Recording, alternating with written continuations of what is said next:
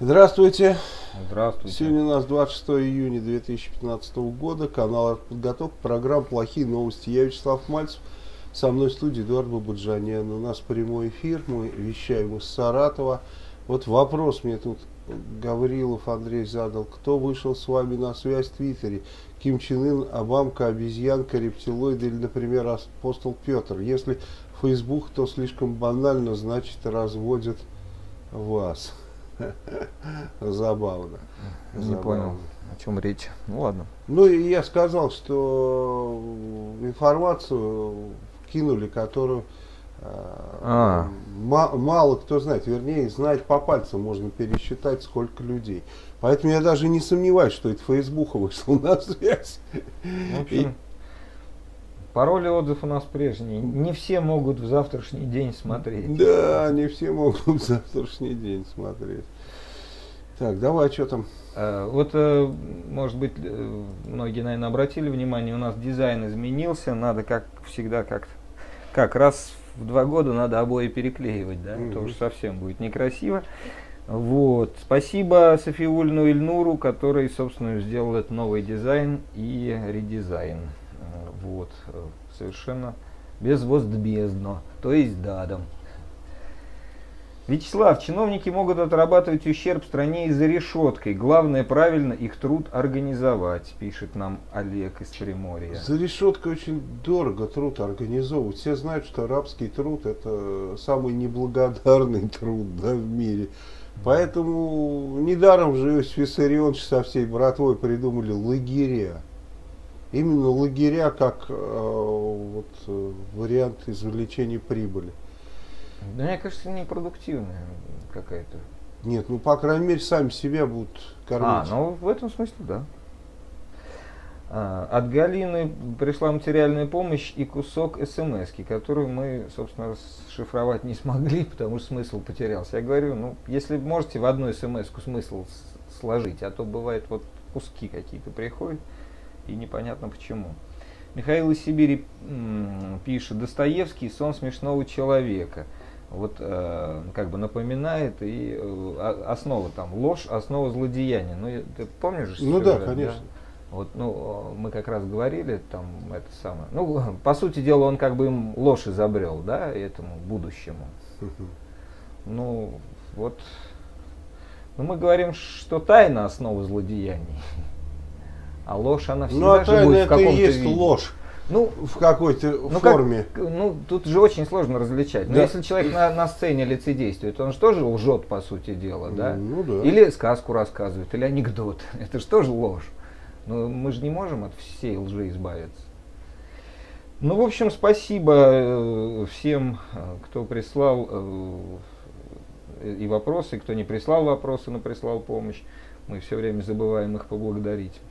И еще раз Софиулину Эльнуру благодарны за то, что вот помог нам с дизайном. Спасибо еще раз. Спасибо. Так. Сейчас вот. А, ну давай тогда не будем больше никаких э, вопросов. Наверное, начнем с новости, что Евгений Максимович Примаков умер. Ему был 85 лет. Вот сейчас многие всякие вопросы задают, что бы было, если бы вот так, вот Если так. бы ДКБ. Да, у меня тоже всегда два вопроса. Вот всегда два вопроса относительно Примакова. Я очень уважаю его. Э, вот Двух мнений, как говорится, быть не может. И два вопроса у меня. Первый вопрос, вот что было бы, если бы он не отказался от встречи с Ельциным. Помнишь тогда? И у, у меня это, э, ну, как бы я не присутствовал при этом, но был в этом тоже задействован. У меня, представляешь, должна была быть встреча с Примаковым. э, Вот в эти же дни. Он отказывается от встречи с Ельциным. Я лечу к Примакову, то ли вот сразу же после этого, то ли перед этим. Я сейчас уже даже числа-то и не помню. Кстати, могу вспомнить, если так поднапрячься. И удивительная вещь, у меня аудиенция на 10 утра, я так успеваю, в общем-то, приземлиться, там в Шереметьево самолет должен был приземлиться. Он взлетает из Саратова, и у него гаснет двигатель один. Он подлетает к Москве, этот самолет, с толпой народу, и принимают решение не сажать в Шереметьево, потому что, ну, если там что-то случится, ну, будет очень большой кипиш, как в том анекдоте, когда нужно было первый лист паспорта засовывать себе в задницу по причине того, когда в прошлый раз навернулся самолет на нашей авиакомпании, такая была неразбериха. Так и здесь, в общем, собственно, и сажают Быкова, боковой страшный ветер, и вот он раскачивает крыльями вот так, и я вижу то э, в один иллюминатор, а я в третьем ряду сижу землю, то в другой. Я понимаю, что ну, я бы не сел. Понимаешь? И все, я думаю, ну, кирдык. И тут мы сели, а, но так как вот э, улетели 4 часа вместо час 20, ну там же двигатель один погас, плюс, э, значит, посадили не знаю где, то есть ни, никто за нами не приехал и так далее. Ну, в общем, я не встретился с Примаковым, а тогда у меня было что обсудить. Очень важно. Я хотел важные слова сказать, понимаешь? И вот у меня два вопроса в жизни. Что было бы, если бы он встретился с Ельциным, и что было бы, если бы я с ним встретился. Вот. Ну, я, кстати, так вот в толпе-то, ну, не один на один встречался. Это единственный раз, когда должна была быть встреча один на один. Как ты думаешь, если бы Ельцин сделал ставку на Примакова, что было бы? Не знаю. Ну, я Смысле, думаю... как на преемник, что ли? Ну да.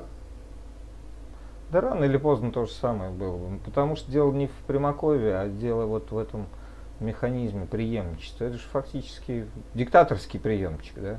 Ну, конечно. Ну, Безусловно. Ну, чуть подольше продержались, ну что. Не, я думаю, Ну, потому что так же Примаков должен был преемника выбирать. И кого и бы он выбрал концы. Примаков, знаешь?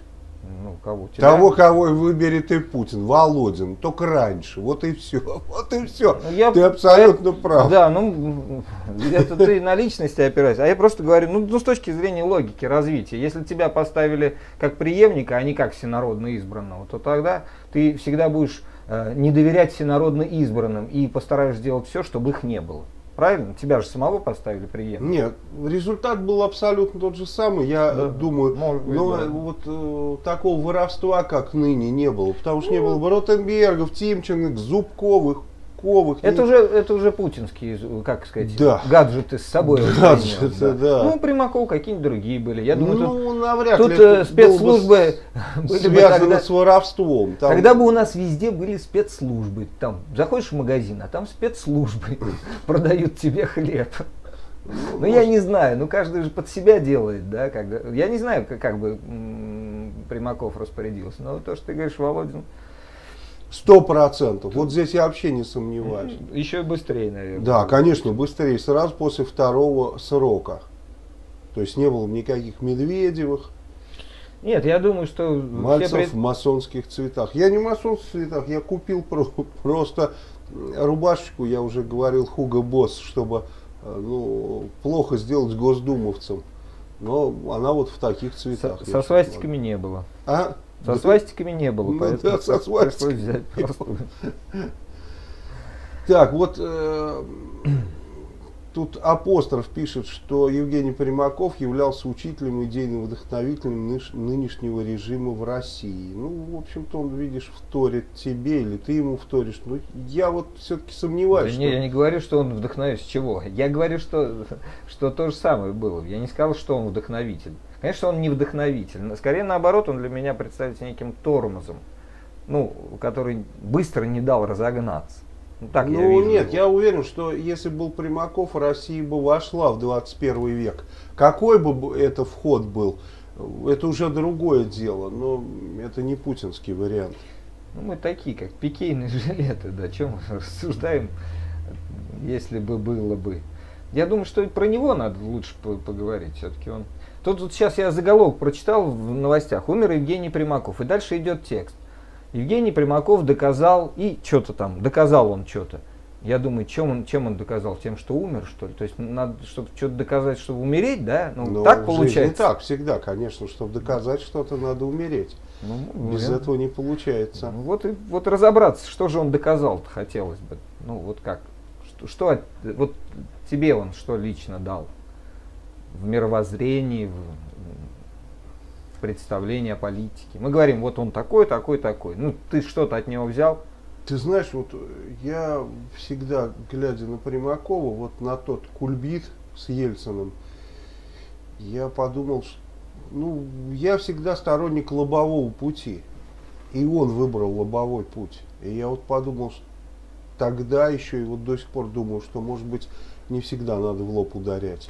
Ну, То есть, мы, если бы он тогда мы, Ельцина перехитрил... Мы обсуждаем нюансы, да. да. На самом деле, предательство совершено было со стороны, конечно, коммунистической партии Зюганова. Потому что это было его президентство, ты прекрасно понимаешь, да? Конечно. И вот когда бы они в 96 году не продали, э, грубо говоря, свое же собственное дело, все было бы, вот я говорю, мы бы вот не то что вошли в 21 век, как Польша со своим ну, да. откатом, в том числе и социалистическим, а просто влетели бы на белом коне. Ну да, есть в этом смысл, что если бы они не то чтобы объединились, а и было предложение от Примакова к коммунистам, но они его не услышали. Вообще, Зюганов сам а, выигрывал у Ельцина как вот, ну, с полета, с разлета, если бы Ельцин не вцепился зубами в эту вещь. А церемония прощания с Примаковым пройдет в колонном зале Дома Союзов. Ну. Вот меня очень часто спрашивают, как найти Путина. Вот никак искать не надо, он в понедельник будет в колонном зале Дома Союзов. И не только Путин. Но мне, конечно, скажут, ну к нему же не подберешься. А это уже другой вопрос. Это как в анекдоте про стратега, да? Это уже тактика. А, руководитель штаба Владимира Путина в 1999 году Сергей Пугачев заявил, что это он предложил кандидатуру Путина на пост президента. Да, сейчас очень много народов. Ему предложили встать в очередь, да? да. 28-м после Березовского. Березовский, конечно. То Березовский предложил, то теперь Пугачев. Ну, кстати, Пугачев рассматривает это как вот э, некий, так сказать, свой плюс. Я могу ему сказать, что он зря вообще это говорит. Потом мы ему это припомним. Когда он потом, мы возьмем власть, он приедет сюда, мы его спросим, ты что болтал? Ты Путин предложил, ты его подтолкнул. Ты ему помогал, ты же у него там начальником штаба был. Мы же знаем об этом. И он что, думает, за это не придется отвечать? Придется. Он думает, что кровью смыл, что ли? Не смыл. Поэтому ну, у Пугачева есть вариант начать активную борьбу с Путиным там за рубежом и таким образом реабилитироваться. Ну, мы знаем, еще Березовский писал в свое время, что Путин, когда его спросили, кем он хочет быть, он сказал, что хочет быть Березовским имея в виду, что хочет быть миллиардером. Действительно, человек, который хочет иметь миллиарды, не должен быть президентом. И он и не альфа, он и не может быть президентом. Вот его все время показывают как и первый, единственный. Ну никакой он не первый. Он не альфа, он там где-то второй с конца такой. Вот как они все, великий. Грызлов, да, там, Зубков, все вторые с конца. Вот это их место, второй с конца. Нужно же понимать, а когда второй с конца приходит и его ставят искусственно первым, получается вся конструкция закручивается, как собак, который пытается свой хвост укусить. Но Чушь она, они начинают с конца и людей тянуть. Вот они да, затянули всех. Конечно, людей с конца тоже. С конца это как вот на, на физкультуре в школе, да, вот так я себе представил. Шеренгу такую, да, вот самые маленькие справа, да, самые большие слева. Ну, да. А когда растут, все же хотят, чем правее, ну, ты, тем, ну, грубо говоря, стоишь правее, тем ты круче, да, ну, больше вырос. Да, ты красиво сказал. Вот я представил, что Путин там, да, стоял. Вот в этой шеренге. В армии, когда в колонне строится. А самое, самое плохое место сзади, особенно после какого-нибудь поганого обеда с кислой капустой. Те, кто сзади, они вообще в ужасе находятся. На сайте телеканала «Звезда» появилась публикация, публикация о событиях в, е, в Ереване под названием «Ереванский Майдан». Кому выгодно повторение украинского коллапса? А в Украине уже коллапс? Ну, не знаю. Это так рассматривает звезда. Но, но их Повторить выгнали. можно то, что уже произошло. Да, да, конечно. Так вот, э, их выгнали оттуда, с площади этих э, звездочетов, да, в общем-то. И э, вот Аветисян какой-то журналист тут написал в Твиттере, что, значит, их там убрали. Ну, надо отдать должное, армянам, по крайней мере, не побили. Они, в общем-то, смотрят э, российские каналы видят, какую чушь тут плетут. И после этого не дать в рыло кому-то, ну это надо э, там незамедлительно дать этим людям медали за отвагу дали, там за личное мужество, за личное мужество. Ну как представь, видишь вот эту сволочь, которая каждый день несет чушь по телевизору, проходишь мимо и не даешь в морду. Это же удивительное мужество вообще. Я бы, я бы не смог, честно я скажу. Я бы такую медаль не смог получить. Ну Майдан уже поселился в голове у Сарксяна и прочих. Конечно. Вещах. Все, он состоялся, и он теперь уже вынужден с ним договариваться сначала. Ну, понимаешь, ситуация в своей какая? голове. Я так понимаю, что там большинство, во-первых, там нет лидеров, ну, может быть, это и хорошо. Во-вторых, там большинство не понимает, что нужно еще кроме вот э, снижения цен, снижения тарифов, поэтому появилась идея наказания тех ментов, которые беспредельничали. Это очень правильная, кстати, идея, даже вот просто вброшенная, она уже наводит ужас. Потому что угу. им какую-то команду дал какой-то их начальник, теперь кто виноват, они или вот этот начальник, начальник Кондратий, им тоже всем страшно. Ну, в общем-то, хорошо, это правильно, да. Как Том и Джерри друг другу бомбу ну, передают. Да, да, да, да, очень хорошо. Но вот э, теперь они шествие устроили, неповиновение, пошли, значит, э, по Еревану, там граждане, которые идут по тротуару, э, это поддержали. Вот заметил, что это формат, э, ну как сказать, вот как был автомайдан, это форматы майданов. Да, конечно. Вот это вот шествие неповиновения. Нет, другой это, формат. Да, это другой формат. Но тут э, ситуация какая, здесь э, ну, отдать надо должное армянам, там э, ну, вызывает это, как бы сказать, меньший накал чем на Украине. Как это не парадоксально, вроде горцы там а, должны рубаху накрывать. А, они противостояние, видишь, мягкое какое. Да. Водяное фактически. Так, вот они, я говорю, расширили свои требования, требуют полицейских наказать. И, значит, э, Сарксян, э, я так понимаю, еще вчера хотел встретиться, но так и не определились, с кем встретиться. Ну, потому что Понятно, а не что, с кем встречаться. Конечно, Майдан не встречается, не встречается. он требования выдвигает да. и все, а вы пять, выполняете. Там, вот выберите пять человек, да пошли вы нафиг. Нет, а как они выберут этих пятерых? Вот Совет Армян ни в коем случае не выбирать. Да пятерых. они не выберут, не, да. они не смогут этого э, сделать. Ну, потому что это все, ну, сказать. Даже Майдан... пятерых выберут либералов, мы даже знаем Сила кого. Майдана в том, что у него как раз нет лидеров. Вот э, в чем его сила. И он выдвигает требования, которые не, не обсуждает. Это приказ. Вот Нет, э, когда уже поймут э, все правители, что э, требование Майдана это приказ и все. Э, так, а, ну расширили, да. Спикер Сената Польши Богдан Барусевич прокомментировал заявление кремлевских властей о том, что Польша станет целью России в случае размещения у себя техники США. Ну, новый спикер, и, естественно, он должен чем-то выделиться. Он сказал, буду краток, мы давно находимся под прицелом России. И все. Ну, в общем, молодец. Теперь его цитируют. Ну, собственно, вот оно и правда. Че, чем напугали-то вы и так под прицелом, естественно. Не, ну, так оно всегда было, и, в общем-то... И... Нет, а теперь мы еще и прищуримся, да? Ну, да. Или как, палец положим на спусковой крючок. Швеция наращивает военный потенциал на фоне опасений по поводу военных учений России.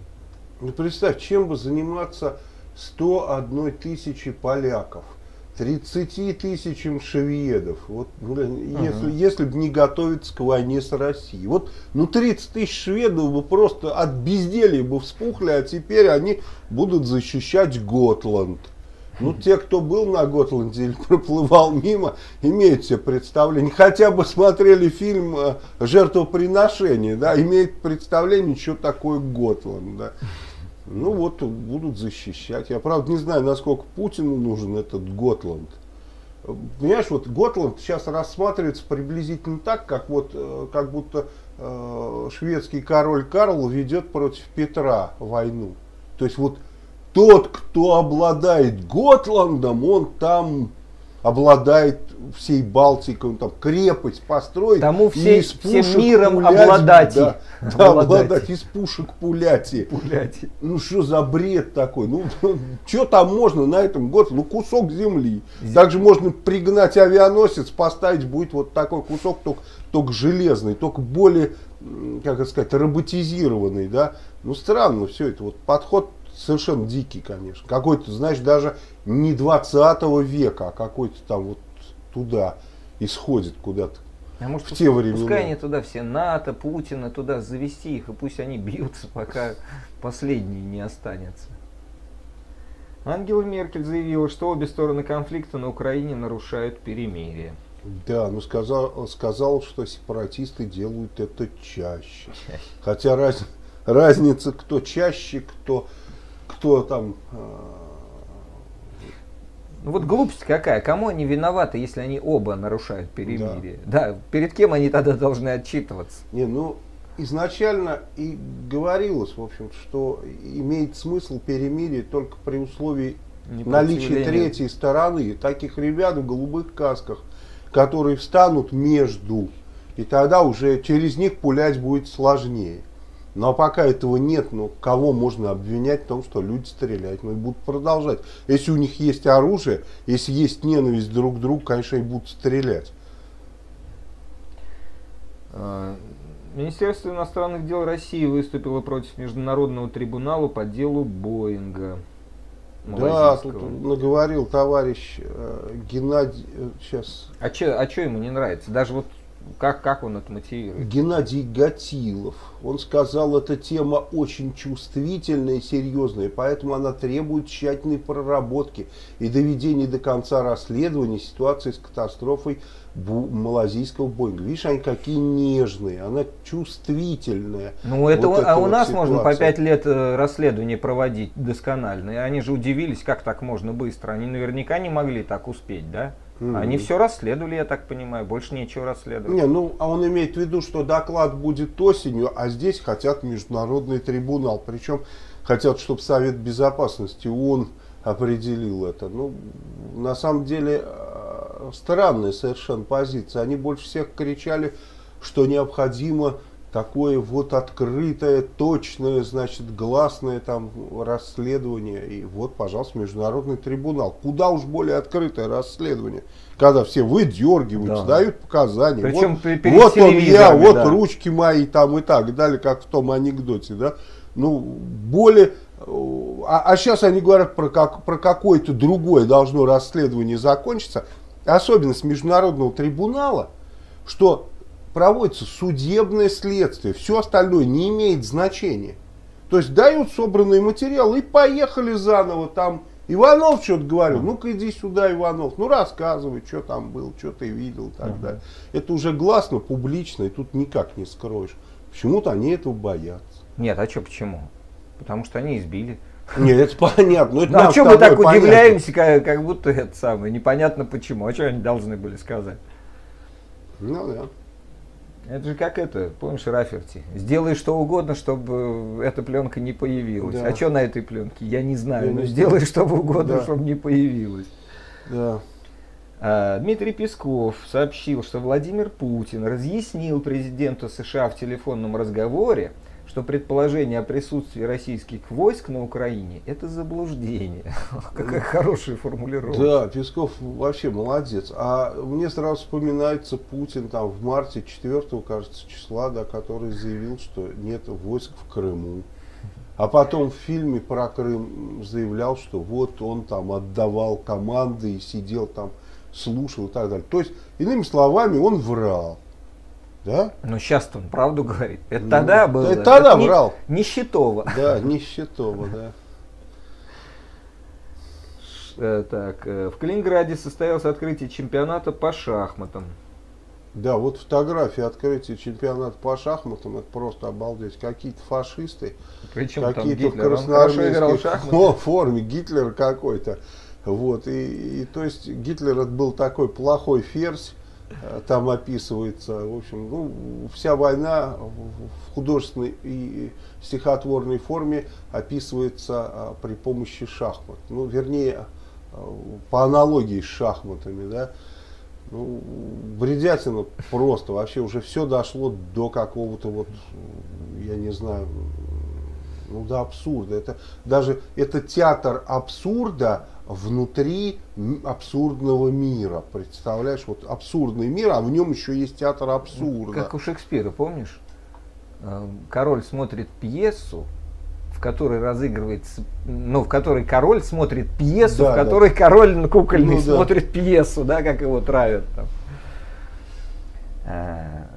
Тобольске установили очередной саботажный памятник, я так понимаю, да? Это вообще жесть, конечно. Вот установили такой памятник, а люди нашли исходную фотографию. Оказалось, на, на ней изображен солдат вермахта, вот, защитником Отечества во все времена. После того, как это все выяснилось и произошел скандал, поставили вот такой памятник, ну, здесь какой-то вот э, бурят, так скажем, то есть тут, тут уж не ошибешься. Хотя тоже может оказаться, что э, китайский летчик, помнишь, как на тех плакатах в, на 9 мая, ну, я, я уверен, что это люди противодействуют. То есть они пытаются все довести до абсурда. Причем молодые люди, потому что мы с тобой бы, ну, наверное, не посмели бы так сделать, да? Ну, по определенным каким-то своим мотивам там и так далее. А молодые люди, у них нет таких вериг. Ну, да? такая э, жаба, да, такая. Ну, ну как, да. сказать. А давай, да, засунем и будем прикалываться. Я думаю, что таких гораздо больше, чем их открывают. Это же не все открывают. Да, конечно. Да? Я думаю, что половина, Мем половину такой, мы да? не, не видим. Ну, в смысле, увидели и пошел дальше. Откуда вот мы знали про этого парня в каске. -то. Ну да. Председателем совета директоров ОАО «Газпром» избран Виктор Зубков. Ну, естественно, а кто же еще, кого же еще могут избрать? Я вот не представляю, дедушка Витя Зубков, сколько ему там, 70 лет уже, там, наверное, из него песок уже высыпался весь, и все равно нужен. Вот я не понимаю, человек, ну, на мой взгляд, не отличающийся особым, да даже никаким умом не отличающийся, доживший до 70 лет, понимаешь, то есть еще э, став хуже, как в том, помнишь, в, у э, Островского в Нагажу мудреца довольно простоты, поведай нам, поведай миру, как ты умудрился, дожив до 60 лет, ну в данном случае до 70, сохранить в полной неприкосновенности ум шестилетнего ребенка. Ну, у Путина других нет, как мы видим, да? То есть вот у него вот эти, которые всегда на всех выборах, пока Путин не стал, э, не, не стал, а пока Путина как кролика из мешка Ельцин нам не вынул и не посадил, вернее, может, там не Ельцин, Березовский, Пугачев, там кто еще, ну, целая Пугачева. очередь. Да, целая очередь этих уродов, да, вот, а, высадили нам здесь этого кролика, а эти вот, пока его не высадили, они в результате выборов занимали всегда предпоследнее место. Вы можете посмотреть результаты выборов, в которых участвовали Грызловы, Зубковы и так далее. Всегда четко 8, там 10 кандидатов, у этих кренделей всегда предпоследнее место. Как, ну, как в том анекдоте про конкурс мудаков, да, да, да. на котором ты займешь э, второе. второе место. А почему второе? Ну, потому что ты да, ну так и они всегда предпоследнее место, даже не последнее. Кремль передумал прекращать транзит газа через Украину после 2019 года. Я пошутил, да? пошутил, да. Ну, вообще забавно, они ребята, конечно. То есть они... Да не, ну что, ну понятно, как тараканы уже мечется по кухне, Скома... да, свет включили. Скомандовали Миллеру договариваться. Ну, ты там съезди, Леша. К своим. Да, съезди к там к своим. Да, да, там к своим задним дружкам и договорись с ними, чтобы они нас там не очень прессовали. Так что имейте в виду, там к вашим ребятам нетрадиционных сексуальных ориентаций приедет Леша Миллер и будет их склонять к тому, чтобы они вот... К сожительству. Ну да, с газом все порешали как положено. Так что имейте в виду, кому нырнет, тот и есть такой а я товарищ. Думаю, что он и дружкам задним там успел нас, насолить. Я вот думаю. Почему. Думаешь? Да. Ну, Но ну, не, они же не могут без западла, да, условно говоря. Какое-нибудь западло они им там прокинули. Парни увели или что там у них там карается, я не знаю. Э, чистый отток частного капитала из России за первые пять месяцев 2015 года составил 54 миллиарда долларов. Ну, если взять цифру за прошлый год, то они соотносимы. Угу. То есть ты видишь, э, нисколько не упало. Деньги-то еще, оказывается, вагон здесь везут, везут. Мы говорили, что э, будут вести до того момента, когда начнет падать. То есть не то, что прекратят вести, а, а нечего будет. Все. А везут.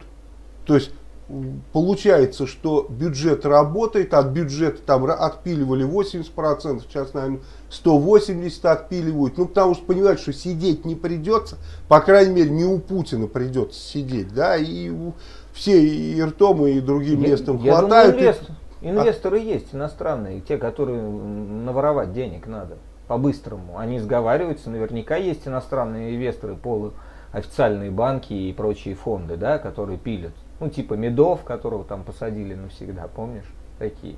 Есть. завидуешь Миллеру? Да нет, незавидная роль, роль у пидораста, да. Чего ему завидовать? Да не, ну как в этом смысле не знаю. Сравнить не с чем. Да, сравнить. А вот в этом, котором про Чубайс, помнишь, рассказали. Вот в этом. Да, да, расскажи. А это, Ты в эфир не рассказывал. А, ну это как его, это не мое, это вот Пархоменко, который суть событий ведет на эхе, он рассказал, как он встречался с Чубайсом, и тот спрашивал про книжку, которая про него написана, и он спросил, как продается. А Пархоменко был издателем. Говорит, хорошо продается. Ну, люди интересуются. Вы сходите, говорит, в книжный магазин Москва. Там она выложена, и там люди все время берут, и с ними можно пообщаться. Он говорит, вы что, с ума сошли? Говорит, мне нельзя в магазин. Говорит, почему? Мне нельзя на улицу, говорит, меня разорвут. Вот так он живет, этот человек. Он на улицу не выходит, вы понимаете? И также и Миллер не выходит на улицу. Ну так может быть. Шарфом замотался. Ну это да. Усы поклеил. Там, да, да, да. Может и так. Ну а куда? Вот Сечин может пройтись, прогуляться по вечерней Москве, в Москве? Как ты себе представляешь? Ну не знаю, наверное, может, если как-то себя за это самое закамуфлирует. Под, под женское платье? Ну да. МВД задержало бывшего финансового директора банка Траст. Так. Ну, тут продолжается вот эта тема со всякими директорами. А, ну, тема же простая. Сначала отобрать банка все а деньги. А потом возложить на них ответственность. Mm-hmm. Конечно, естественно. Это стандартный такой номер. ВВП э, России в мае упал почти на 5%. Ну, я думаю, что упал и больше, потому что... А ведь мы его считаем в рублях, я так понимаю? Ну, не знаю. Здесь Нет? вроде как бы в долларах, долларах да? считают, но на самом деле я уверен, что это не так, что где-то они передергивают. Наверняка считают в ну, рублях. Ну даже, ну, даже если в долларах, то это вообще, конечно, много. Ну, не знаю, это они сравнивают с прошлым годом. Мне кажется, динамика гораздо выше. Минфин предлагает поднять акцизы на алкоголь. Даже на... вот извини, просто ага. вот э, сравни. Э, нефть упала в два раза. В том ВВП нефть только э, с газом около 50%. Ну, чуть-чуть поменьше, там, как они пишут, угу. да? Ну, даже если это просто ополовинить, то уже получается больше 20%. Ну, что, значит, это рост как где-то в другом месте ну, наблюдается? Ну, я, я сомневаюсь, мы его не видим нигде. Вот Минфин предлагает поднять акцизы на алкоголь и сигареты.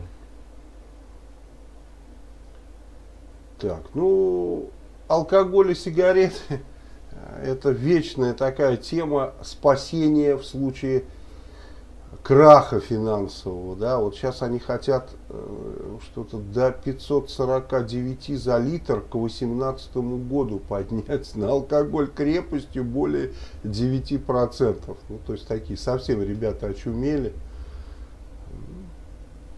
Будут спасаться таким образом, как они думают. Я думаю, что у них ничего не получится.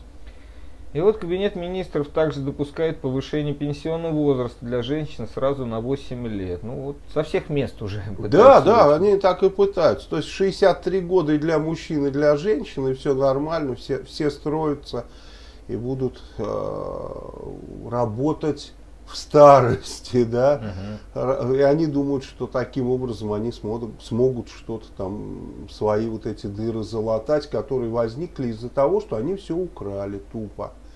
Вот из-за того, что они все украли, ватники будут работать. Слышите, вот передать всем ватникам, что они будут работать до упора, до 90 лет, пока не упадут у станка. Потому что ну, а ватники ребята... тебе так и скажут, да, упадем, потому Конечно, что мы за да, Россию. показывали, э, включил я телек, и там показывали каких-то, у которых брали интервью.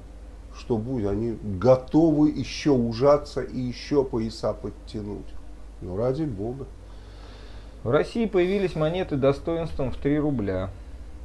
Да, тут даже вот э, это к саммиту БРИКС и ШОС, который будет, э, значит, э, в Уфе, в июле в Уфе, будет такой саммит, и будут, значит, вот эти монетки раздавать, эти трехрублевые, да.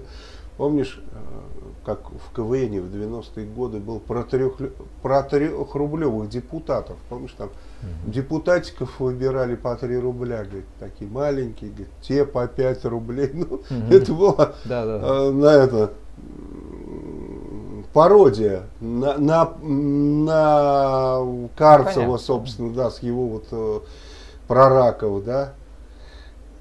Вот такие дела. Так что тоже кто-то прикололся, что 3 рубля. Понимаешь, то есть трехгрошовый, трехрублевый. 3,50.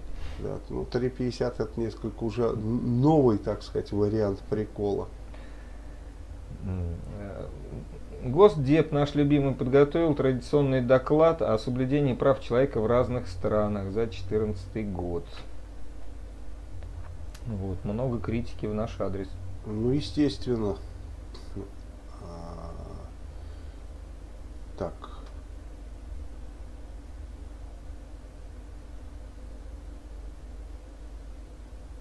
Почта монет же. Да, да, я вижу. Тут просто два был доклада. Один подготовлен Госдепом по а. поводу а, соблюдения прав человека во всем мире, а другой тут же зеркальный подготовлен китайцами по поводу несоблюдения прав человека в США. Два таких варианта. Причем, знаешь, в чем проблема? Ну, у Госдеп стандартный доклад, то есть и стандартные нарушения, и, ну, кроме всего прочего, вот Украина там и так далее, и усиление борьбы с инакомыслием э, в России. Ну, это как бы угу. старый вариант. А вот э, у китайцев новый вариант, у них говорят, что США много стреляют, хотя в Китае режут, там не стреляют, приходят в детский сад и зарезают. А здесь вот наличие оружия у людей в китайском варианте это нарушение прав человека, всех остальных. Mm. Такой вот свой подход. Ну понятно, у них такой конфуцианский подход. Да, да. И, э, значит, полиция, полиция сильно там негров лупит, вот тоже нарушение прав человека, они в этом усмотрели. Ну, в Китае-то меньше, наверное, негров бьют. Ну, да, ну, я думаю. Э, да, вот Шендерович высказался по поводу возможного восстановления памятника Дзержинскому. Ну, он сказал, что представьте, что в Германии возвращают памятник Гиммлеру. Вот сравнить все-таки э, памятник Гиммлеру с Дзержинским я бы не стал сравнивать, а особенно Шендерович, в общем-то, он же, наверное, понимает, какая разница между Дзержинским и Гиммлером, да? Ну, по крайней мере, с точки зрения национальности, он же понимает, что Дзержинский это не Гиммлер. Я имею в виду его национальность Шендеровича. Uh-huh. Поэтому как-то странно, вот меня очень сильно удивило.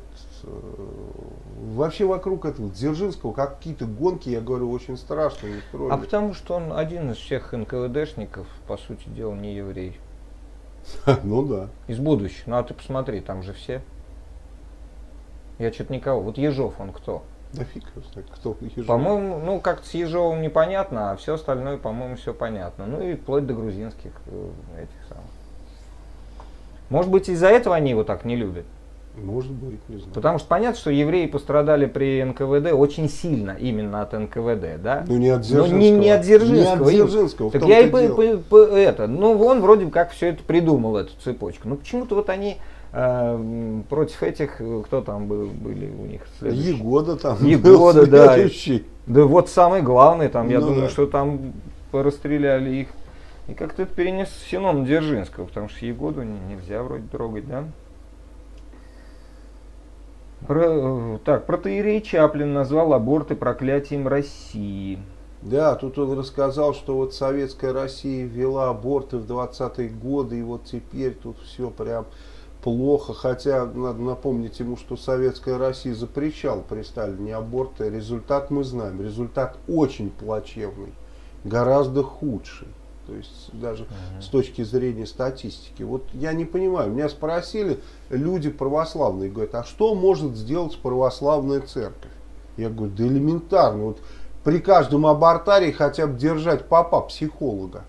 Уже он стольких отговорит. А если еще тем, кто отказался от аборта, через вот этого папа будут помощь финансовую оказывать, да это вообще их таких миллионы будет – но церковь не хочет никому помощи оказывать. Вот парадокс православной церкви, она хочет, как пылесос, собирать бабки, не хочет ни с кем делиться. Почему? Потому что она делится Божьим Словом. Зачем же еще бабками делиться? Это да. уже лишнее.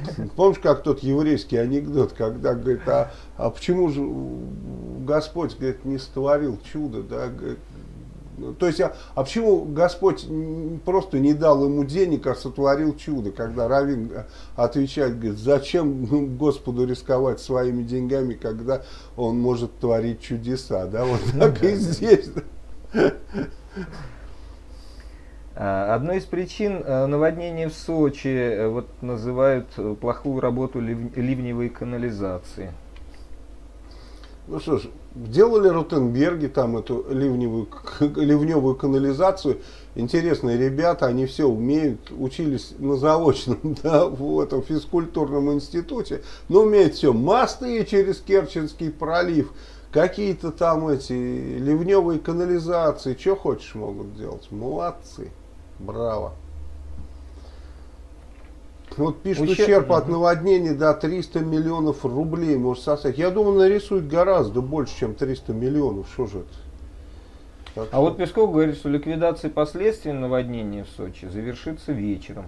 Сегодня? Да, ну нет, он не сказал каким. Сказано вечером, значит вечером, понимаешь? Понятно. 6 часов вечера после, после войны. войны, да. А это после завершения э, ликвидации последствий. А вот очевидцы заявляют, что как раз ликвидация последствий идет медленно и бессистемно. Ну, до вечера успеют, так что я думаю... Медленно, да? Да, медленно успеют. Воронеж заливает сильным дождем с грозой и градом и Воронеж, и Челябинск. И сейчас вот еще сообщают, что на, на столицу идет семь, этот циклон. Семь да? смертных каких-то казней, или как они там Ну да, вот священник говорит о наводнениях в России из Санкт-Петербурга, что не надо вот э, за всеми этими пожарами, там, наводнениями и так далее видеть какой-то перст Божий. Это природа просто так развлекается и все. А так все очень хорошо. Ну, по сути, они правы. Не, нельзя вы в этом видеть перст Божий, ибо суеверие это есть. А, так. А. Компанию Саратов э, Гесстрой, строящую новую набережную в Саратове, признали банкротом. Да, представляешь, Правда? какая прелесть. Они взяли вот, 117, вот, это... вот а, то, что развалилось. Да, то, что взяли, они взяли 117 Рядом. миллионов аванс и все, и опа, ручки, вот они, мы банкроты, а то, что до этого построили, все развалилось. А, сейчас, Ноль, да? а еще в Саратове еще и воды нет, кругом отключили воду. Вот пишет, вторая городская больница осталась без воды. Вообще, э, я недавно проезжал мимо второй городской больницы, обратил внимание вообще на чудовищную вещь. Всегда был э, вход сбоку, отсюда вот с э, Провианской. И там до травмпункта было, ну, два здания пройти. Ну, не знаю сколько, там, метров сто, наверное. Ну, то есть люди со сломанными ногами, корячились, подъехать к травмпункту нельзя. То есть можно было проползти. Сейчас эту дверь закрыли. И открыли только с 53-й стрелковой дивизии, а там, наверное, теперь до травмпункта, ну, метров 400, наверное. То есть, и, и причем здесь можно было подъехать на машине, потом вдоль забора, а там все, там везде все перекрыто, там выходи из машины и все, и пошел до травмпункта. В этом травмпункте товарищ мой умер, потому что ему засандалили сюда нож, вот, в щитовидную железу. Он пришел и два часа ждал, пока ему окажут помощь, и задохнулся кровью. Так что Замечательные там ребята. А в Москве вот предотвратили сходку воров в законе.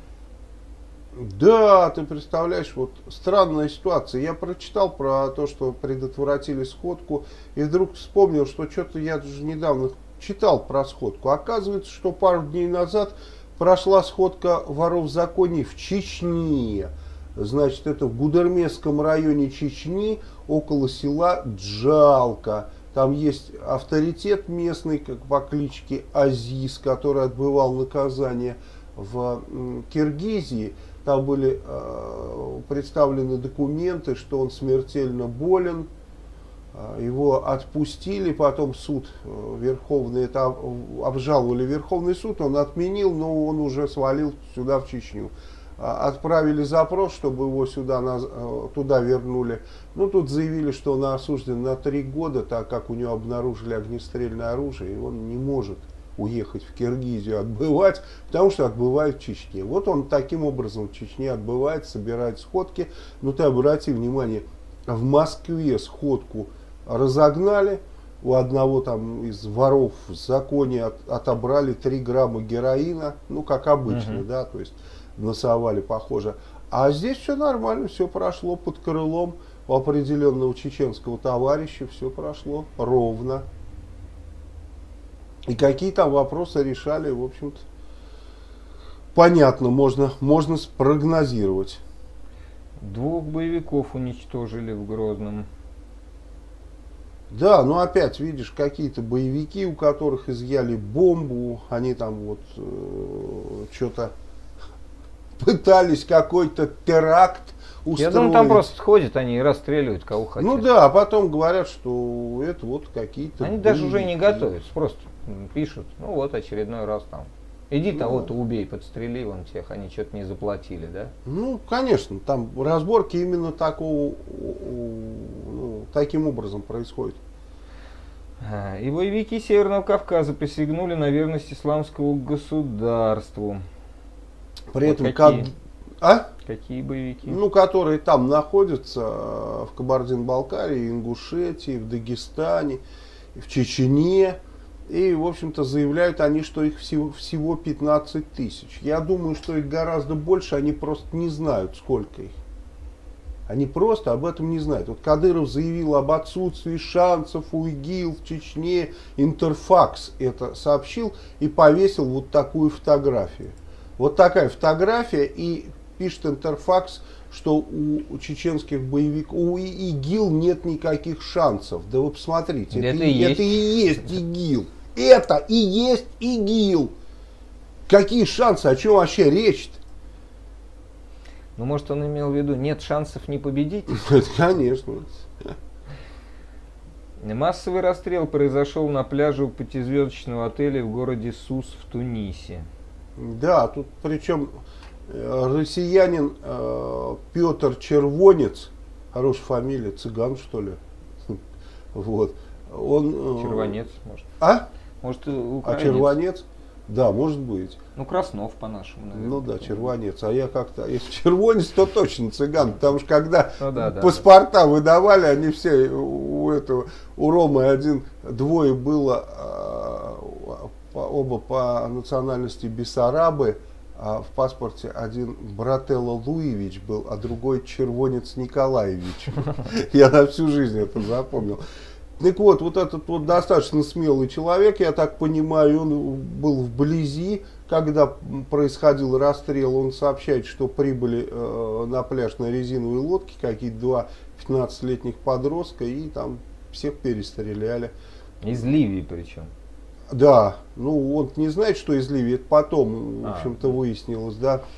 В Тунис. То есть там, а там наш, наш всегда же полно там. Да, и тут пишут, вот, пода- это я, то, что говорит э, посол э, Сергей Филиппов, пресс-атташе, вернее, посольства России в Тунисе Сергей Филиппов. Это уже не первый раз, помнишь, Мгм. тогда тоже там ра- э, расстрел был, то же самое. И вот он говорит, я цитирую, чтобы не придрались.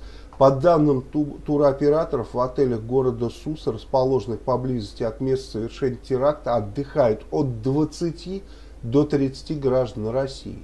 Ты можешь себе представить, это вот посольство, чем они там занимаются, мне кто-нибудь может объяснить. От 20 до 30 граждан. Это как, сколько вешать в граммах, да, сколько вешать в гражданах. Ну, ты, ну там во всем этом Тунисе хорошо, если тысячу человек из России отдыхает.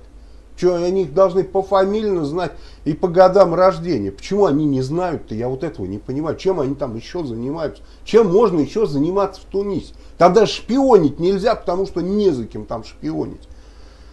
Жесть какая-то вообще просто. А, Число жертв теракта в шиитской мечети. В, э, А, не, ну тут вот еще про э, это, так и непонятно, там есть русские или нет. То есть э, сказано, что 30 человек убито, 20 ранено, и что э, Минздрав Туниса заявил, что это граждане Великобритании, Германии, Бельгии, а есть русские или нет, так никто и не сказал. Да, там А, в шиитской мечети мечеть тоже подо- подзорвали. в Кувейте 22, а, 24 человека взорвали. Ну, мы видим, что сейчас месяц Рамадан, и исламисты, видишь, двинулись. Начали взрывать, стрелять. Вот Тунис, м, теперь э, шиитская мечеть. Во Франции напали на завод, одного человека обезглавили, э, голову там на забор повесили, пытались взорвать кислород, ну какой-то пожарный там обезвредил этого кренделя, значит, который арабскими буквами там на мертвом теле что-то написал. И вот задержан еще какой-то подельник его с его женой. В общем, там разборки ведутся. В Сомали исламисты террористической группировки Аш-Шабаб атаковали базу контингента Африканского Союза. Ну, мы видим, да, что ИГИЛ тоже вчера по всем фронтам начал наступление. Но это будет продолжаться, наверное, в течение всего месяца Рамадан, по крайней мере, по всем фронтам, в том числе и в Африке, и, мы, и в Европе. Это согласованные действия, это было легко, в общем-то, предсказать, из, исходя из логики исламистов. Да? То есть месяц Рамадан надо в рай немедленно. Ну, Значит, будут продолжать все эти вещи. Вот подорвали здание управления безопасности в Сирии, тоже там непонятно, кто, кто подорвал. Ну, и естественно, что это исламисты. Ну, я так понимаю, что какие-то смертники со взрывчаткой на грузовике, там, в общем, все как положено. А вот в Кабани, по разным данным, убит по меньшей мере 146 мирных жителей. То есть Кабани захватили, теперь их контратаковали, они отошли, потом они снова атакуют. В общем, непонятно. Сейчас э, за Кабани, в общем-то, идет бой, я так понимаю, даже в настоящий момент, пока мы здесь говорим. То есть они вчера расстреляли там больше 20 мирных жителей, в основном детей, женщин. Сейчас вот уже цифра на сегодняшний день 146. И Дэвид Кэмерон созывает экстренное заседание по чрезвычайным ситуациям после терактов во Франции и Тунисе. Ну, вообще, а у после- нас никто не собирается После... еще? Не-не-не, а тут это никого не волнует вообще, во- это пофигу. Они там за морем сидят и уже собирают совещание, да? Ну да, Вот ну британцев вот касается в первую голову, они всегда, когда Да. что-то происходит за морями, они на это более, более чутко, чем все остальные реагируют, потому что, ну нужно помнить, это исторически, Британская империя, она была а, разбросана Но по всем свое, да, континентам, их да. там смотрят. А вот Британию затерроризировали банды румын. Я посмотрел этот сюжет, я просто чуть не обалдел, конечно. Ну да, вот на ходу перелазят, с капота открывают, то есть как, как эти э, терминаторы какие-то, роботы, да, на ходу все. Это сюжет для фильма, да, и причем там много их. Ну, это, я понимаю, что э, там круиз-контроль, да, стоит, ну, Ну и они да. как бы на это рассчитывают. Ну, ты же понимаешь, он уже гашетку может придавить в любой момент. Чуть-чуть, и они все в лепешку, вот все, да, там просто. Там же он же немедленно едет, да? Вот мне пишет какой-то, я прям хочу, э, какой-то Алик, какой-то Алик Джеминай. Мальцев, ты давно пиздюлей получал? Алик Джеминай, кон- конкретно про тебя могу сказать. А, Я, Ты что говорить-то? нет, я хочу, очень хочу. Ну это же, ну, диванный, это тролль, это тролль. Диванный. Такой, да, такой, да, дрочер такой мелкий. Слышь, вот Алик Джемина, я сейчас попрошу людей, чтобы тебя установили, сто процентов, вот именно тебя, именно тебя установили. И насчет пиздюлей ты получишь ответ прямо от наших людей. Я твой адрес, телефон, все установочные данные, вот так скажу. У нас в каждом городе э, бойцовский клуб очень серьезный. Я думаю, что тебе лучше будет убежать из своего родного города. Понял? Вот специально вот я установлю, кто ты и откуда. По твоему компьютеру.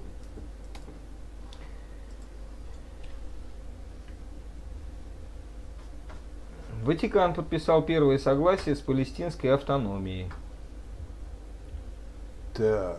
Соглашение. Да, ну, Ватикан признал уже давно, в общем-то, Ватик... э, Палестину. И соглашение, конечно, оно связано с защитой католиков э, Мгм. на территории палестинского государства. В общем, Ватикан действует достаточно с упреждением, если так можно сказать. То есть он, он в настоящий момент, вот видишь, э, Пап Франциск допустил разводы. Мгм. Опять это такая свежая информация. То есть католики никогда не разводились, если ты помнишь, даже а, приколки в 70-е годы был э, где-то там на Times Television, помнишь там, а, забыл я какая программа там, а, по, по, по поводу католиков и протестантов, что там у католиков очень много детей, он там своих детей, э, потому что они не пользуются презервативами, у них нет разводов, там еще что-то у них нет, поэтому своих детей они э, в поликлинику для опытов там отправляют, они строем идут туда, помнишь, там вокруг этого Ну, шу- шуточки были как раз. Э, Ну, что можно сказать? Мы говорили о том, что католическая церковь будет при папе Франциске реформироваться. Совершенно сейчас четко это видно. Кроме всего прочего, сейчас а, вот э, католики провели с э, буддистами определенные переговоры. И я думаю, что в ближайшее время нужно ждать какие-то а, акции стороны Китая. Акции неудовольствия, потому что ну, католики буддистам про- протянули руку помощи, в отличие от православных и российского государства, которые используют буддистов, да, но Далай-ламу даже на порог не пускают. Если бы его э, Кирсан Илюмжинов не привез бы в свое время один раз и то там с нарушением всех возможных законодательств, то он никогда в жизни в Россию не заехал. В этом году впервые за 8 лет болгарская православная церковь Алекс Джимина, я не угрожал, просто спросил. Ну ладно, хорошо, вопрос снимается. А я воспринял это как угрозу. Имеется в виду, я человек очень мстительный, поэтому если я воспринимаю что-то как угрозу, я начинаю действовать превентивно, всегда. Я никогда не жду, когда меня огреют, я бью первым. Поэтому не провоцируйте меня Христа ради. Вы даже не, не представляете, с чем вы можете столкнуться. Не надо провоцировать, умоляю. Но данные мы все равно установим. Нет. Нет, а как? Я не, не шучу. Ну, не знаю. Ну вот он сейчас написал, э, ломанулся, да, я не знаю, что он там пла- планировал делать, да, а теперь понял, что лиш, лишку сказал. И сказал, ты ему сразу поверил. Да нифига, Да ладно. да нифига, он тебе угрожал. Что, нет что ли? И все? Вот это все, да, вот это вот так? Ладно, ладно. То есть можно просто извиниться, да? Ну, иногда да, иногда можно просто извиниться. Ну, зашибись. Ну ладно, успокойся. Спасибо. Давай, давай. Так, что у нас дальше? Православная церковь отказалась судить гей-парад в Софии. Ну, видишь, это предсказуемо. Конечно, не, не мне судить православных иерархов болгарской церкви. Ну, наверное, они зря это отказались сделать, потому что надо помнить про Содом и Гамору всегда. Не надо никого там, я имею в виду там, прижимать, никому что-то там запрещать, давить, гнобить. Но православная церковь должна выражать, по крайней мере, свое неудовольствие. И объяснять верующим, что как бы это, это не наш метод. Да? Шурик, это не наш метод. Китай опубликовал ответный доклад. А, ну это, Ну да, да, да. Это вот, к, к той новости относится. Вот Верховный суд США легализовал однополые браки. Ну, мы ожидали, что это будет. И вот самое интересное, интересное, что в США началось строительство нового ковчега. Одновременно, представляешь? То есть однополые браки э, самое, разрешили и все, и бросились новый в ковчег строить. Хорошее совпадение. В Кентукки будет сооружено 155-метровое, а, значит, ну как его, ну ковчег, 155-метровый ковчег будет сооружен, а, как, в общем-то, описан в Библии, со всеми там прибамбасами. Ну хорошо, интересно, я, я бы с удовольствием залез, посмотрел. Тут вот э, город переименовали в Испании, назывался он неприлично. Бей евреев назывался город, да. Ну, теперь вот тем такая а, переименование всех таких страшных мест.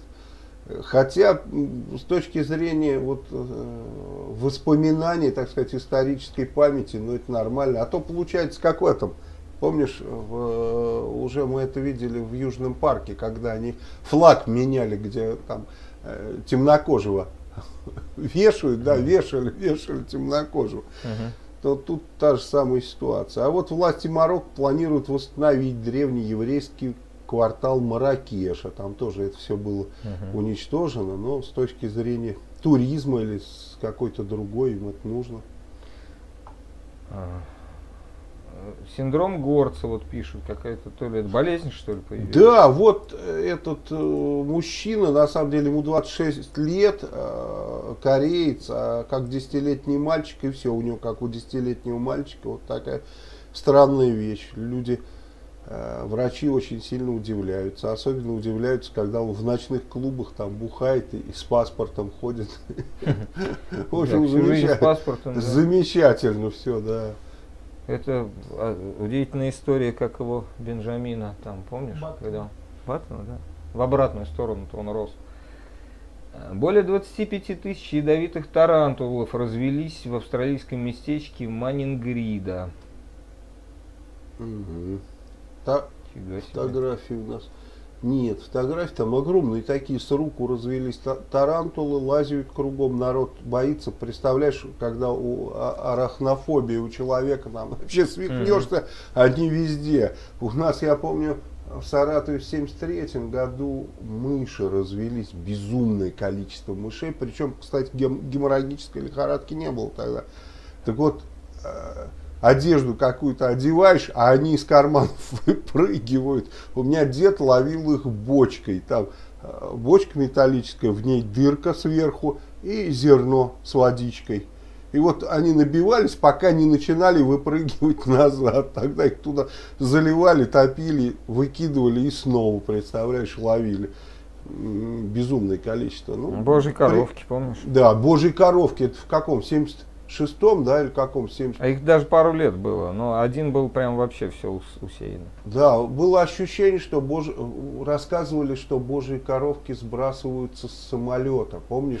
Потому что там летали, что-то пытались опылять или что уж делали на Ан-2, и вот они прям кучами, как из мешка. Я помню, футбол играем на стадионе Динамо, они как из мешка. Да, бывает такое в жизни.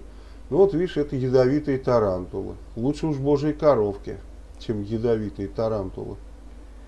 На аукционе в Нюрнберге э, была продана за 130 тысяч евро картина Бюро записи актов гражданского состояния в Мюнхене, которую написал Адольф Гитлер в 2014 году. Ну, вокруг, недорого, в общем-то. Вокруг честно. этого, да, сейчас э, столько криков, что вот картину Гитлера продали. А что с ней, интересно было делать? Спрятать, уничтожить? Вообще наследие Гитлера необходимо изучать. Почему? Потому что мало таких людей было, таких, ну, с таким уродливым характером, чтобы понимать, как, как с этим бороться, это надо изучать. Это все равно, что где-то случилась какая-то болезнь страшная, надо все закопать, спрятать и ни о чем не знать. Да? да нет, нужно понять, почему. Вот у меня версия всегда была, что Гитлер свихнулся после того, как двойную смесь на нем применили. Все знают, что он получил отравление ипритом, но мало кто знает, что тогда не применялся чистый иприт, а были двойные смеси. Это тот, кто изучал историю химического оружия, это знает. То есть Гитлер получил не чистый иприт, а с чем-то еще. И вот это что-то еще подвинул у него мозг. Я думаю, что это что-то еще. Цианид, который вот у нас тут производят. Поэтому это же интересно изучать и нужно, нужно понимание, почему, почему все это произошло. И картины, они наиболее его представляют. Но почему-то это закрытая такая тема, все спрятать нельзя. Неизвестные ранее картины Клода Мане найдены в Великобритании. Ага. Ну, естественно. А мы конечно. поверили сразу. Ну да, там дамочка купил две картины, а сзади еще одна приклеена оказалась. И почему-то как раз именно Мане, вот почему-то вот, вот как раз популярные. Да, не Пупкина, никого. Не Пупкина, да, на, на Васькина поменяли, да, а вот именно Мане, как-то ему повезло, да, вот в, в этой самой. Да ладно. Но ты знаешь, вот когда я прочитал про картину Гитлера и про Мане, вот меня абсолютно не интересует, что в голове Мане происходило. Я понимаю, что там Кельдим еще может похлеще, чем у Гитлера, но Мане не уничтожил столько народу. И поэтому, конечно, вот э, связь такая, то есть картин Мане может быть сколько угодно, настоящих, фальшивых и так далее. Вот картины Гитлера надо изучать настоящие, а не поддельные, потому что это настоящие его мысли, настоящее видение мира. Миланский собор получил повреждения от столкновения с беспилотником. Да, сейчас вот э, не, не знаю, что там с ними делать. Это уже вчера было, да, э, с теми, которые это, там... Это сейчас будет очень много. И это много будет. Причем сейчас будут придумывать какие-то сверхэнергии, что-то такое, что вообще в рамки э, никаких кодексов-то не укладывается. Да? Там он что-то здесь повернул, а там что-то сломалось и упало. И причинно-следственную связь трудно, э, так сказать, установить, потому что, может, он и сам не знает причинно-следственной связи. Ну, пример Тесла, да, когда вот многие считают, ну такая гипотеза есть, что он там э, свой генератор включил, а там штука э, фиганула такая, которую потом назвали Тунгусский метеорит, что этот взрыв это результат Теслы. Так это или не так, я не знаю. Но представим, что это так. И представим, что это взорвалось не на реке под каменной Тунгуска, да, а в Париже, да, шарахнул, там все снесло. Какие претензии к Тесле? Не, ну понятно, что можно было высказать, сказать, слышь, ну ты не прав, так нельзя, да. Ну вот сейчас мир подходит к тому, что одиночки придумывают совершенно невероятные вещи. То есть совершенно невероятно. И как это будет дальше развиваться. Не пущать их невозможно.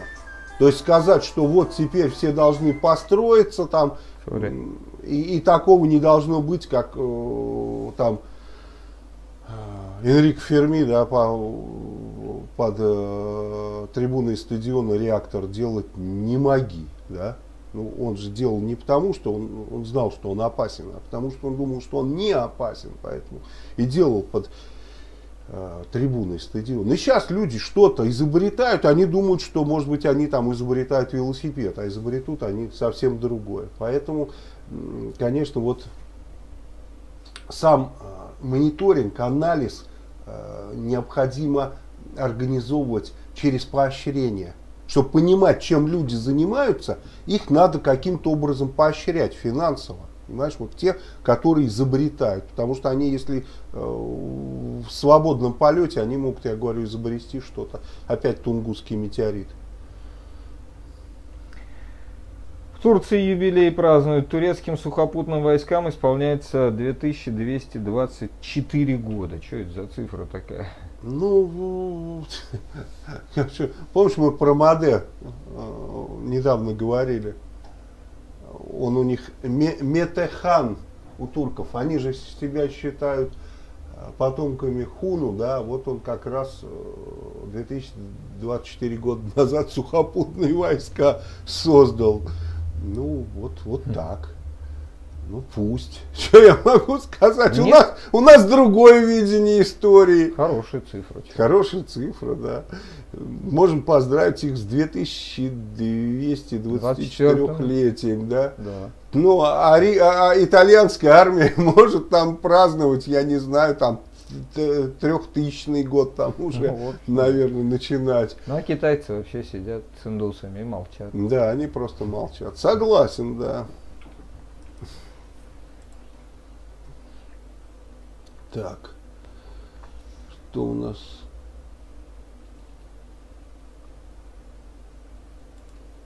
Вопрос. Я киевлянин искренне верю, что кошмар кончится, и мы не растеряем кровный уз. Но боюсь, что разбор на года, десятки лет, а вы думаете, что на эту тему Ярослав. Я тоже так же думаю, что да, вот сейчас мы возьмем даже власть, в любом случае, если раньше мы говорили о том, что ну, вот там можно создать какую-то конфедерацию со столицей в Киеве и так далее, то сейчас, наверное, этот вопрос рано поднимать, и этот вопрос, может быть, через лет 30 возникнет, а может и не возникнет.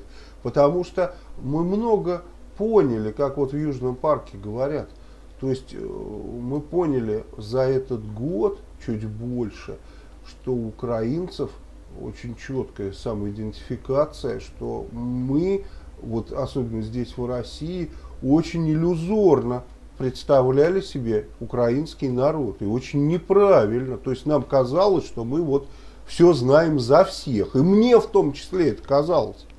Сейчас я понимаю, что нет, я заблуждался.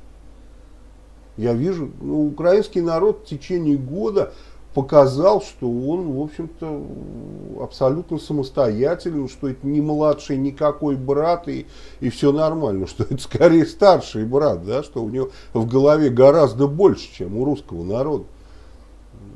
Ну, вот такое открытие для многих. Ну что ж, ну мы для того, наверное, многие же говорят, что, умные люди, что мы для того наши души сюда и являются, чтобы получить опыт. Для меня, может быть, это Э, страшный опыт, но он бесценный. Но будем в любом случае, вот отвечаю Ярославу, в любом случае будем двигаться навстречу. Дайте убрать, помогите убрать поганую власть, и все, и, и, и обе руки протянем и, к вам, и, э, так скажем, все вот эти проблемы, которые сейчас есть, их не будет, мы их устраним. Я понимаю, что, как в том анекдоте, осадочек останется. Ну что сделать? Значит, будем с этим жить. Мальц Путин каким-нибудь способом пытается заставить вас молчать. А, не знаю. не знаю, может быть, там какие-то колдуны в шапках ходят, что-нибудь там так. Не знаю, я, я так понимаю, что другого способа нет. Колдуны только в шапках могут. Мы же его тоже не заставляем пока молчать. У нас все имеют право говорить. Головные ноги не протянуть. Да, я вот когда говорил про руки, я тоже подумал про ноги. Вот как-то параллельно мы мыслим. Так.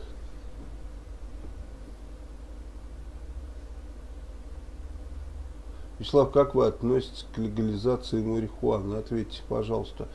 Да, вы знаете, я не считаю, что это какая-то очень серьезная такая проблема. И марихуана для России вообще нетипичная. Будет она легальна, не будет она легальна. Как вот ты думаешь, если легализовать марихуану, много людей ее будет курить? Я уверен, что нет.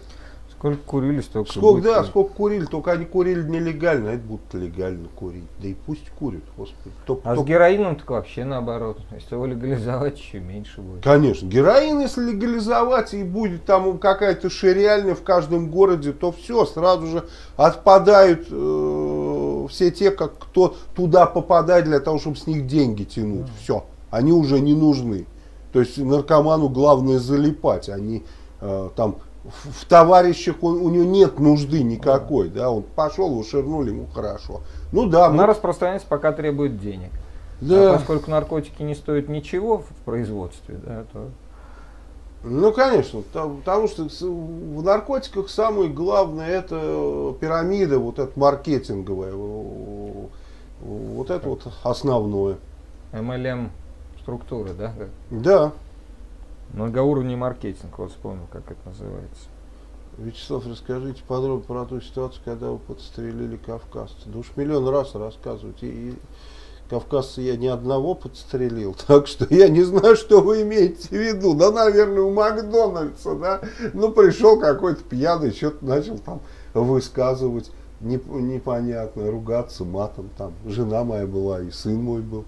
Я решил, что... Ну, и там вижу толпа народу, такие же кренделей.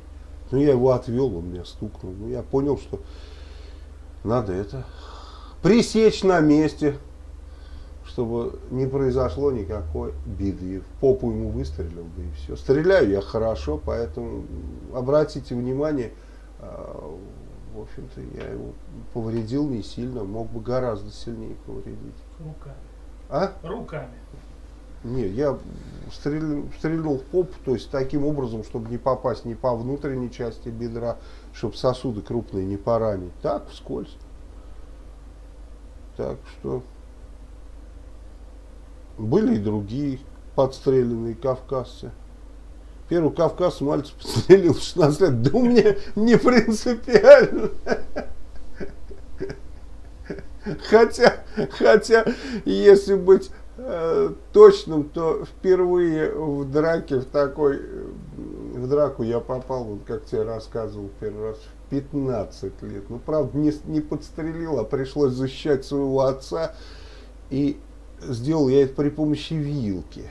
И вот после этого мой родитель, который самбистом был очень сильным человеком, он когда отвел меня, он сказал, знаешь что, Вячик, он меня так называл, можно тебя попросить, никогда больше за меня не заступаться, пока я сам у тебя этого не попрошу. Я дал ему слово, что больше никогда в жизни я не буду так делать. В общем-то, держал его. Так что, я думаю, у каждого были в жизни какие-то моменты такие, о которых он ну, вспоминает с двойственным чувством. Вот, кстати, о подстре- подстрелушках этого Кавказа, Кавказа у меня а, одно только чувство. Я абсолютно чувствую себя правым и считаю, что все получилось очень хорошо. Я считаю, что слава богу, что я не нанес ему никаких особых повреждений, да, ну, потому что там, рука бы дрогнула, попал бы в артерию, все, и привет семье человека на том свете. Я этого не хотел делать и не сделал. И, в общем-то, очень доволен. Ну и там не произошло какой-то массовой драки, не пострадала моя семья, так что меня все устраивает.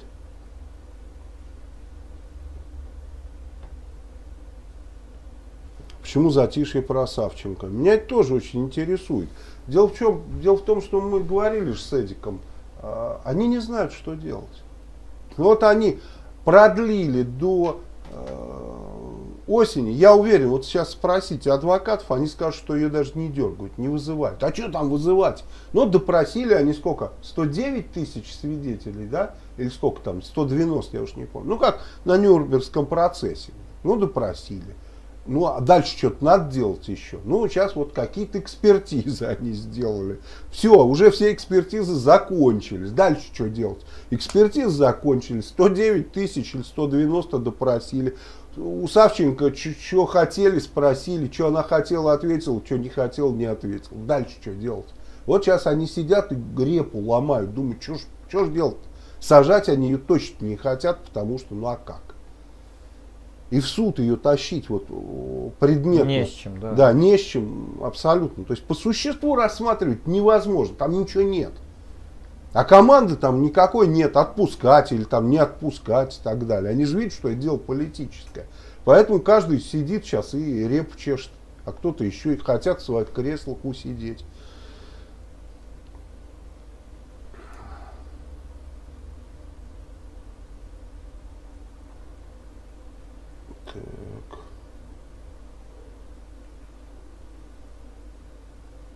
Смотрю, у вас в Германии, если есть проблемы с просмотром артподготовки в Германии. Опа, куда убежала? Ага, нужно установить расширение бровсек и ставить э, страну USA. Иван Харьков, слава украинцам и русским. Согласен. Иван молодец. Вопрос, какие события могут подтолкнуть вас действовать раньше 17 года? Только если сдохнет Путин, что будете делать, если в ближайшие два года президентом станет Володин или плевать, кто главный? Ну, с Володиным сложнее сражаться. Он, во-первых, не накосячил столько, сколько Путин, его никто не знает абсолютно. Конечно, очень сложный вопрос. Мы каждый день об этом думаем. Вот, вот задали тот самый вопрос, когда мы каждый день думаем, вот завтра Путин там самолете крыло отвалилось и все там. Ну, Володин в такой ситуации не сможет стать. Здесь мы тогда успеем перехватить. А вот если Володин стал премьер-министром, тогда уже все. Тогда привет семье. Тут нужны какие-то другие меры. Но будем продумывать. Вроде бы, э, так скажем, ну, время работает на нас сейчас. Мы видим это. А, очень активно это время работает на нас. Мы видим, как власть имущие ненавидимы народом. И независимо Путин, там не Путин, а вообще вся эта кодла. Поэтому, возможно, как бы удастся вот этот вопрос плавно обойти. Хотя мы, конечно, будем готовить запасной вариант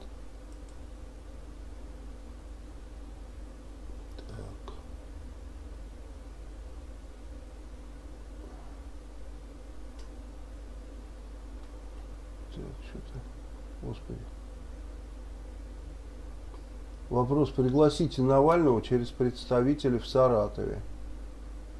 Да можем пригласить, не проблема.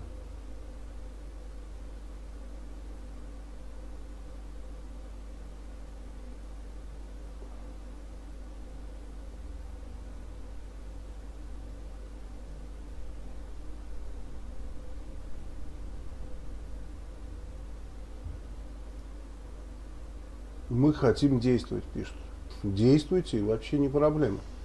Прямое действие, оно никогда не отменяется. Никакое 5 э, ноября 2017 года не, не отменяет прямое действие, как у французов аксион директ, да, прямое действие. Ради бога, действуйте. И мы говорим, что э, вот те структуры, которые создаются сейчас к 5 ноября 2017 года, они должны, не должны взаимодействовать между собой, они должны быть автономными для того, чтобы они были неуязвимы. Если такая автономная единица вдруг действует, ну что ж, Бог в помощь, как говорится. Адвокат говорит, что дело хотят перевести в Ростовскую область. Это, ну, естественно, потому что мы говорили о том, что созданы два э, специальных да, суда в Московской области и в Ростовской области, которые по Кавказу в Ростовской области такой. У нас Конституция запрещает прямо чрезвычайные суды. Создано фактически два чрезвычайных суда. Те, которые запрещены Конституцией. Вот представь себе парадоксальная ситуация. Савченко в нарушении всех законов и Конституции приперли сюда, в Россию, и будут судить судом, который впрямую запрещен Конституцией. Что происходит вообще? Вот даже безотносительно, вот просто к лю- любому ватнику вопрос, это как может быть? Почему все делается вот так, как, как в стране через жопе? Я вот тоже не Потому понимаю. что пиндосы хотят нас захватить. Потому что пиндосы хотят захватить. Я, я вот хочу задать вопрос вот всем ватникам. Почему Путин делает все в нарушении собственных законов? Все в нарушении Конституции. Он мог бы делать то же самое, ничего не нарушая. Вот я как юрист утверждаю, что можно делать то же самое, ничего не нарушая. Но он делает специально с нарушением. Зачем? Такое ощущение, что он вот, вот так и ждет, ну, был, была бы нормальная дума, я понимаю, что она ненормальная, все, он бы получил импичмент, уже давно бы, он уже работал на 100 импичментов. Зачем он это делает? Это же копится все. Так. Ну все, да. Как вы относитесь к воинской обязанности? Нормально отношусь к воинской обязанности. Я считаю, что мы говорили про армию. Я считаю, что в армии нормальный человек должен служить всю жизнь. Да? Ну, как в Швейцарии, в Израиле. То есть некоторое время пройти курс молодого бойца, сформиров... вновь сформированное подразделение остается навсегда. Ну, как вот там в Израиле, да. То есть он призывается на какие-то сборы вечные, там раз в год или раз в два года. И все остальные его братки, с кем он там проходил этот курс, служил, призываются. Они приезжают туда со своим собственным оружием, которое у него дома. Он пулеметчик, ну пусть у него пулемет дома стоит. И три банки с патронами там стоят, и все как положено. Все. То есть, чтобы, ну, во-первых, вот эта э, войсковая дружба, вот эта связь была вечной. А во-вторых, чтобы человек не терял форму. Обязательно, мне кажется, э, необходимо так. Та армия, которая существует сейчас, конечно, она ужасна. То есть это и, и, и призыв не призыв, да, и контракт не контракт. Ну, жесть какая-то. Должна быть регулярная армия, э, небольшая, безусловно, состоящая из специалистов, там, офицеров и так далее, и большая армия в виде э, резервистов.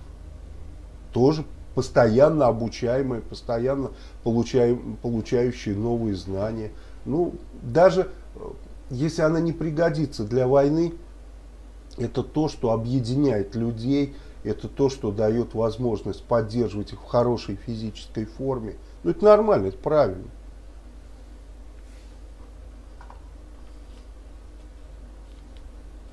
Так.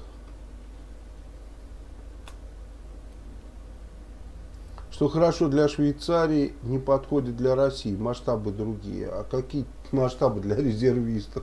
В чем масштаб? Вот он пошел до ближайшего военкомата, дошел, ему э, там в субботу определили, э, где-то вот надо пойти там пострелять, э, выкатили эту кухню полевую с кашей, каш поели, постреляли, там побегали, все прекрасно, отдохнули, прекрасно время провели, научились друг друга, увидели, все, мне кажется, это отличный стрелковый клуб, отличное э, времяпрепровождение с, с пользой, то, что сейчас э, пытаются сделать в Польше.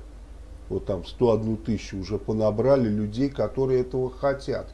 И здесь тоже нужно действовать по принципу, э, что эти резервисты, это те, кто э, высказали желание свое участвовать. Ну не хочет он, зачем нам его в армию тащить? Ну и, может он пацифист, там какие-то у него другие взгляды на жизнь, буддист он может быть, но не надо его тащить, он там не нужен. Так. Вячеслав, по поводу смешных новостей читали Твиттер? Не, не читал. Я сегодня вообще Твиттер не читал. Э, не, не дошел до него. Спасибо. Спасибо. До свидания.